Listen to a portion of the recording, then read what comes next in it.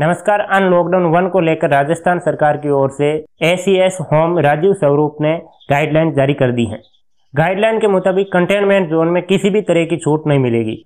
ACS Rajiv home स्वरूप ने कहा कि राज्य में सार्वजनिक बसें, सेवाएँ शुरू हो जाएगी। इसमें भी कंटेनमेंट जोन को छोड़कर बसें, सेवाएँ शुरू की जाएगी।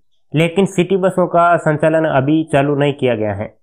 इससे पहले राजस्थान के मुख्यमंत्री अशोक गहलोत ने नई गाइडलाइन जारी कर दी है।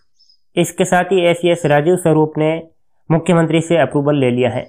आपको बता दें कि आज ही मुख्यमंत्री के पास राजीव स्वरूप ड्रॉप लेकर गए थे और उनका मुख्यमंत्री अशोक गहलोत के साथ लंबा डिस्कशन भी चला और उसके बाद में राजीव स्वरूप ने गाइडलाइन जारी कर दी। अनलॉक वन को लेकर राजस्थान सरकार की ओर से गाइडलाइन जारी की गई है, जिसमें यह भी बताया गया है कि कंटेनमेंट जोन में किसी भी प्रकार की छूट नहीं मिलेगी। इसके साथ ही बफर जोन में जिला प्रशासन तय करेगा। और राजस्थान में शाम नौ बजे से लेकर सुबह पाँच बजे तक नाइट कर्फ्यू जारी रहेगा। स्कूल, कॉलेज तीस जून तक बंद रहेगी। मेट्रो सेवा, स्विमिंग पूल, मॉल, पुल, जिम, सिनेमा आदि बंद रहेंगे। गाइडलाइन के मुताबिक सामाजिक एवं राजनीतिक कार्यक्रम आयोजित नहीं होंगे। सामाजिक स्थल पर शराब पीना धूमपान करना वर्जित है। इसके साथ ही सार्वजनिक स्थल पर थूकने पर भी जुर्माना लगेगा।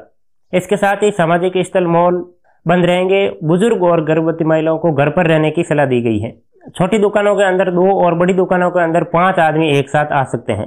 गाइडलाइन के मुताबिक सोशल डिस्टेंसिंग की पालना नहीं करने पर जुर्माना लगेगा। इसके साथ ही शादी समारोह की सूचना एसडीएम को देनी ज़रूरी।